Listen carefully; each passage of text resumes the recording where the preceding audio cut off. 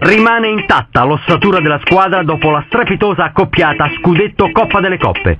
Cudicini è portiere affidabile, la cerniera difensiva è insuperabile, il tandem Lodetti Trapattoni garantisce corsa e copertura, consentendo a Rivera di sprigionare il suo genio.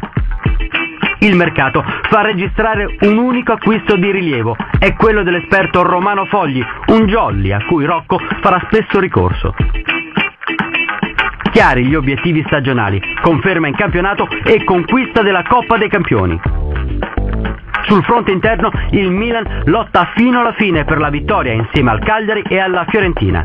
Ma il tricolore sfuma, nonostante una difesa impenetrabile, soltanto 12 le reti al passivo e le sole tre sconfitte subite.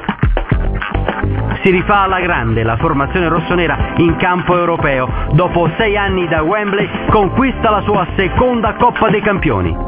A Madrid il Milan travolge l'Ajax del giovane Cruyff per 4-1. Prati è l'eroe della serata con una tripletta, ma su tutti brilla la stella di Gianni Rivera che proprio nel 1969 riceve il pallone d'oro.